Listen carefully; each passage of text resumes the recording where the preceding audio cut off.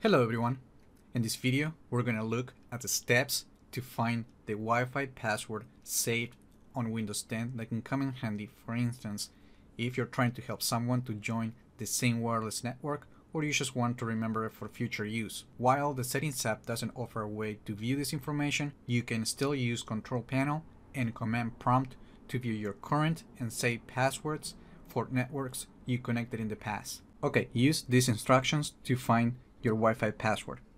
First, open Control Panel and on Network and Internet, click Network and Sharing Center. In here, click the Change Adapter Settings.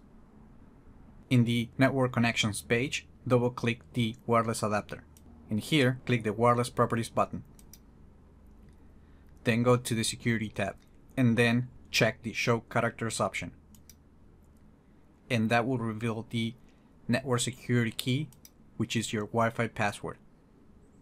Okay, another way you can do this is by using Command Prompt. So using Control Panel, you can only view the Wi-Fi password for the network you're currently connected.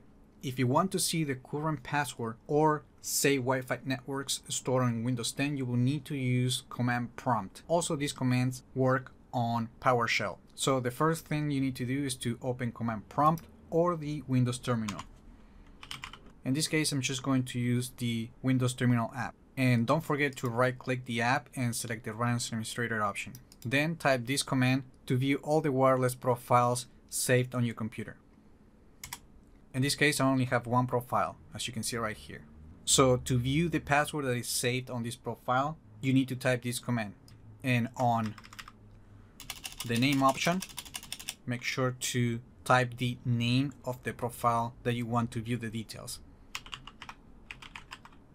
And then press enter and the password or security key will be displayed on the key content as you can see right here. And that's how you find the Wi-Fi password stored on Windows 10 using command prompt or control panel. Remember to like the video, leave your comments, subscribe to the channel if you haven't done that yet, and I just hope this video was informative for you and I would like to thank you for viewing.